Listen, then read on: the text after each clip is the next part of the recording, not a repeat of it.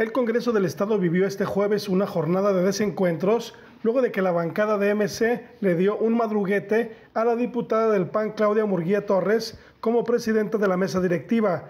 La legisladora de MC, Fabiola Cuán, en su calidad de vicepresidenta del Congreso, asumió la presidencia desplazando a Claudia Murguía, quien llegó al salón del Pleno cuando la sesión ya había comenzado. El conflicto que estuvo detrás es que MC se oponía a ratificar como magistrado del Supremo Tribunal de Justicia a Felipe Sánchez Montes de Oca y la bancada del PAN apoyaba el dictamen para mantenerlo en el cargo por 10 años más. Hubo dimes y diretes entre las diputadas Fabiola Cuán y Claudia Murguía, quien pedía que le dejara ocupar la presidencia. La diputada panista Mirel Montes, desde su curul, dijo a las diputadas de MC que subieron a la tribuna para apoyar a la vicepresidenta que Fabiola Cuán usurpó la presidencia, por lo que los acuerdos de la sesión serían ilegales. Tiene un costado a la presidenta que se llama la diputada Claudia Murguía. Les guste o no les guste, ella es la presidenta. Y en la ley se establece que estando la figura de la presidencia, ella es quien ocupa y quien desahoga las sesiones de pleno.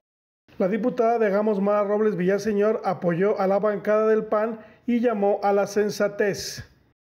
Creo que es urgente que hagamos política, que de ninguna manera generemos una crisis que ponga en tela de juego el papel del poder legislativo.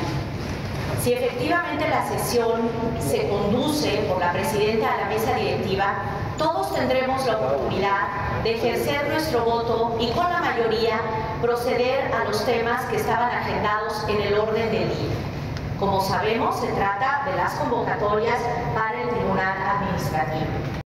Tras el llamado a la concordia que hizo Mara Robles, se declaró un receso y luego de más de dos horas, 27 diputados de MC, Morena, a excepción de Tomás Vázquez Vigil, Hagamos y PRI, a excepción de Julio Covarrubias, votaron en contra de la ratificación del magistrado Felipe Sánchez.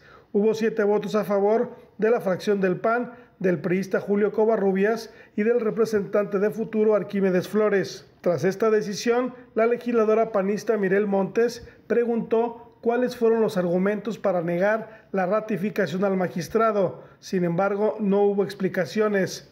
Se declaró otro receso y los cinco diputados del PAN y el representante de Futuro abandonaron la sesión ya que de última hora la mayoría de MC, con el apoyo de Morena, aprobaron emitir dos convocatorias para ratificar como magistrado del Tribunal de Justicia Administrativa a Adrián Miranda y para ocupar la vacante del magistrado del Supremo Tribunal de Justicia, Espartaco Cedeño Muñoz.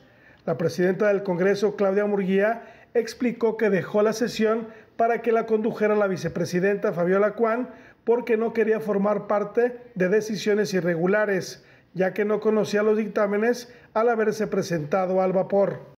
Y como yo no tengo conocimiento de los otros dos temas, ni como integrante de la comisión, ni como presidenta de la mesa, quiero ser responsable de que se cometa un atropello contra los derechos de alguien o una ilegalidad.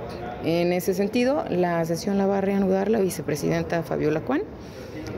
Claudia Murguía explicó que pese a los desencuentros con MC, confía en que no se la destituirá de la presidencia del Congreso. UDGTV Canal 44, Ignacio Pérez Vega.